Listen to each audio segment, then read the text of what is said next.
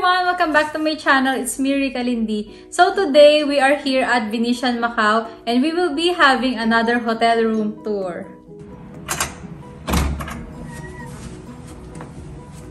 So, keycard will be put in here and welcome! So, at this part, here's the bathroom and there's a mirror here. It's not a big one but it's good for, you know, pag nagme-makeup kayo, ganun, mas okay siya kasi meron siyang lalagyanan. And the first thing na makikita nyo dito is yung doon, but unahin ko na to bathroom. So, ayan. Welcome to the bathroom. So, the first thing na makikita nyo sa side na to, which is yung right side, is itong shower room. And as usual, meron silang body wash, conditioner, and shampoo.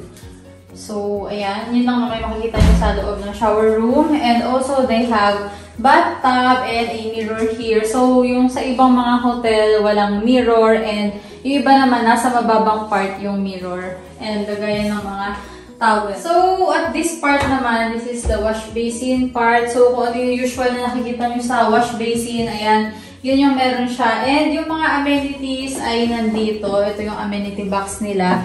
And kung mapapansin nyo, used na yung mga ibang gamit like yung hand towel and itong soap. And meron din dito um, alcohol wipes for your own safety and for sanitation but we already used that so wala na siya dito. And close ko lang siya. Oops! And ayun, mga towels, trash can, and the weighing scale. So, we move on on this part. There's a big mirror in the door of the toilet. So, we'll open this. And I love the toilet kasi meron talaga siyang privacy. Ayan, naka-close talaga siya. Wala siyang window. And I like this one because it has, yung lalagyanan niya, ang cute. So, tissue roll yung nakalagay dyan sa loob. And meron silang sanitary bag, which is usual lang naman dito sa mga hotel sa Macau. And now, we will go here on this part. Ayan, tada! Diba ang ganda? Vanity mirror yung tawag dyan, if I am not mistaken. And they also have this also. But I think na iilaw dito, diba? Tada! So cute.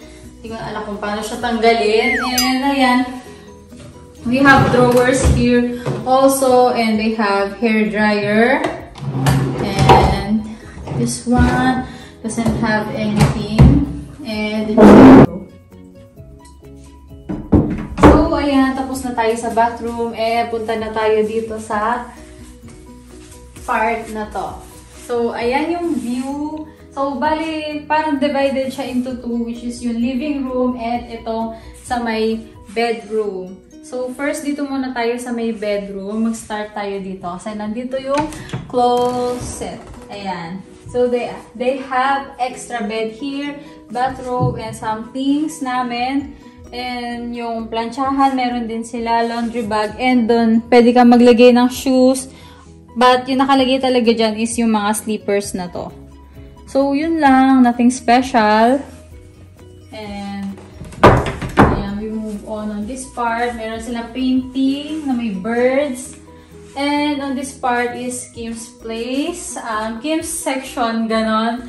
Kasi, king bed yung nakuha namin ngayon kasi ito na lang yung available. Wala nang twin bed sa higher floor. So, maganda daw yung view, kaya ito na lang yung pinili namin.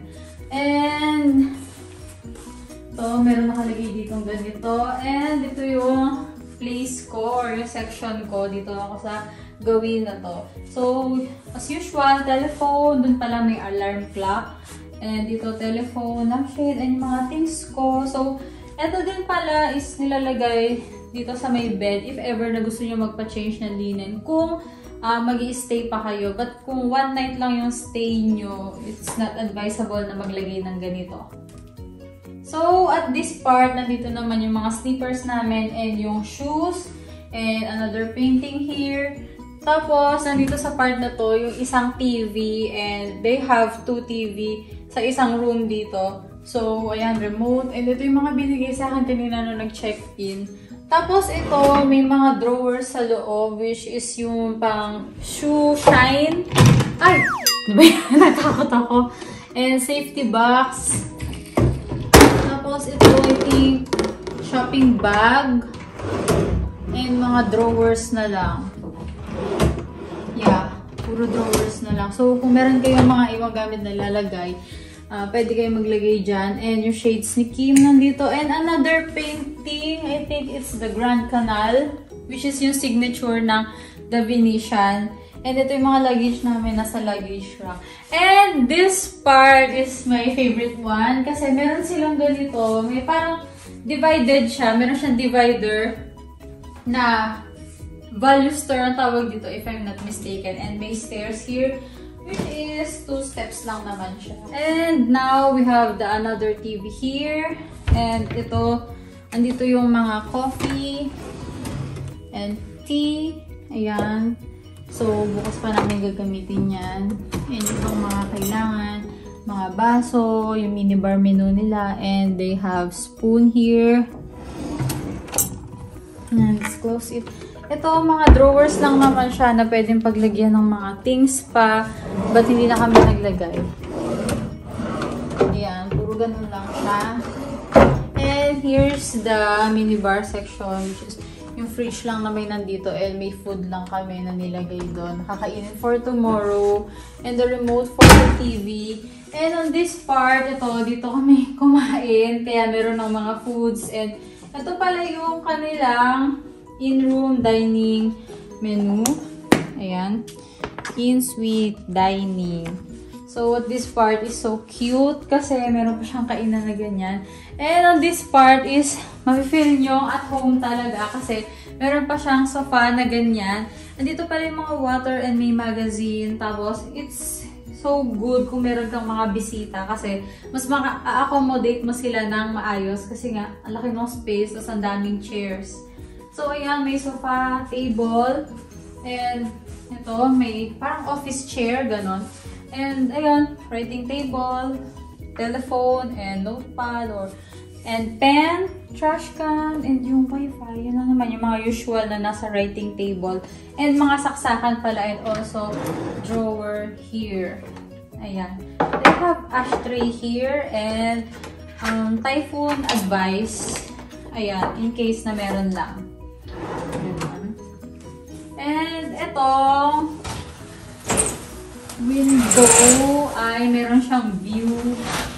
Ang hirap lang makikita. Ayan. So, hindi siya masyado nakikita dahil sobrang bright ng room. So, nagre-reflect siya sa may window. So, here's the view. Ayan, makikita mo yung COD, which is City of Dreams. And yung ibang mga hotel like Wynn Palace, Conrad, St. Regis, and Sheraton, our workplace. And syempre yung mga sasakyan, ayan, city lights, ganon. So, nice din yung view. So, that's it for this video. I hope you like this one. And don't forget to click subscribe on my YouTube channel and I'm gonna see you on my next video. Thank you for watching. Bye!